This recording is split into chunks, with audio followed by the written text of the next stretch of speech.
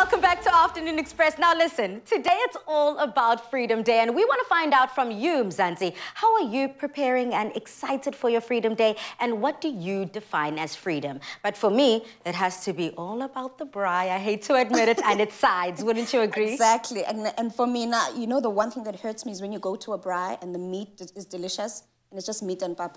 Yeah. It's like, where are the sides? It gets awkward. It does. But here's where we fix that problem.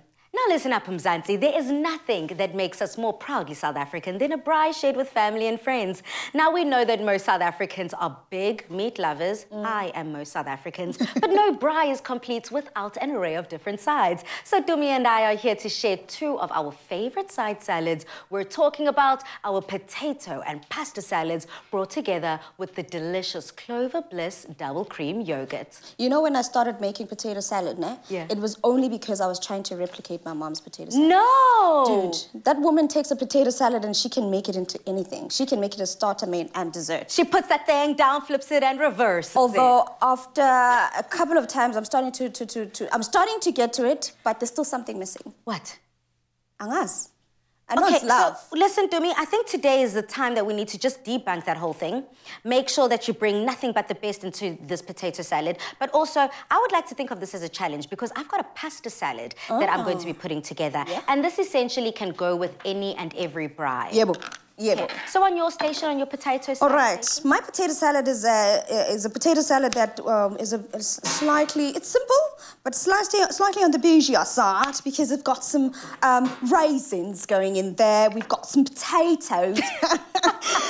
okay, not really bougie, but it's just about taking the ingredients you have and trying to make them, you know, work together. So my potato salad starts with some potatoes that I'm going to be roasting up in the oven. Most people like to boil the potatoes. The reason I do this is because you can flavor the potatoes separately before adding everything else yes, that goes into them. Absolutely. So this is where I add my spices. If you've got, I mean, I'm going to be using some paprika and some coriander um, uh, spices as well, as well as some cumin. So this is where you get all that flavor into the potatoes. And then after that, the main thing is how you bind it together with yeah. all the other flavors here. Okay, mm -hmm. I got that. So whilst Dumi is just whipping up her potato salad on my side, I'm on pasta salad duty. Now this pasta salad has a very, very special place in my heart. Yeah. I went through a time and opportunity where I was meat-free.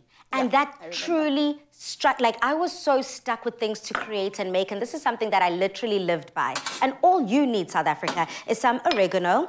We've got some cayenne pepper. We've got some fresh chopped chilies. You know, there ain't nothing like that fresh chopped chili, honey. We've got olives, sweet corn. Is this parsley to me? That is parsley, Absolutely. We've also got some cucumber, tomatoes, lemon, and here, We've also got that cream cheese and mayo dressing to put it all together. And of course, I've got my um, shells. We use shells today. Yes, some, yes. some pasta shells that's already been um, al dente. Al dente, Prepared because we don't want it to be too mushy as well.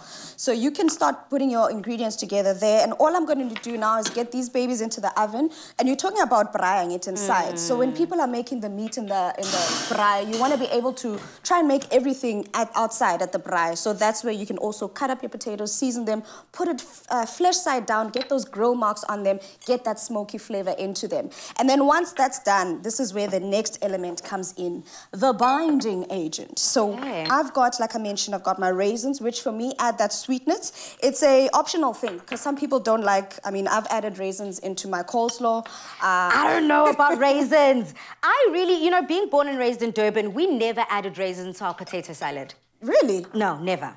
Luta, not no, even girl. into a coleslaw. No. But even, um, you know, it's not raisins, girl. That other... Uh, the sultanas. Sultanas. Yeah. I literally only experienced that moving to Cape Town. Oh, interesting. Yeah. Okay. Now, the other twist I'm adding here, ne, balesa to my potato salad, and most people do this, is they add mayonnaise. And I love that. Mm. Mayonnaise is great. It's delicious.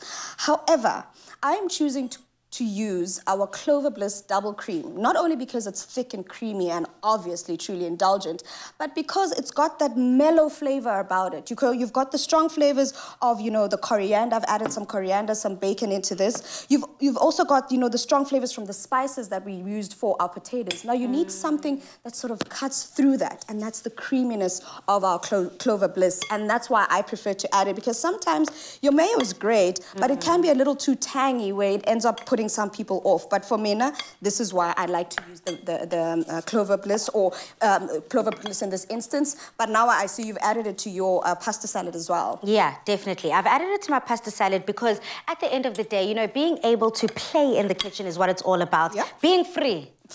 Born free. you, and that's what you're talking about, Yeah. being able to be versatile in the kitchen. So I have to ask you, before we enter Freedom Day Mm-hmm. tomorrow, what does freedom mean to you?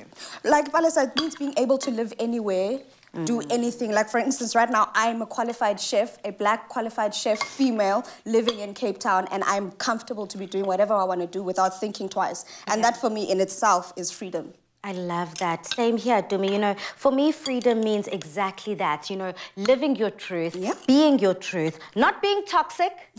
because some people say, I'm living my truth, but you're that. Mm. being toxic. No, living with love, living with respect, living with dignity, but also allowing others that same freedom, dignity, and respect and love. That's what it's all about. And that is exactly what we're doing within this recipe. Oh, and giving them the best sides for their braai. Cheers to that, girl. if you want to get this recipe, please do head over to afternoonexpress.co.za. Yeah.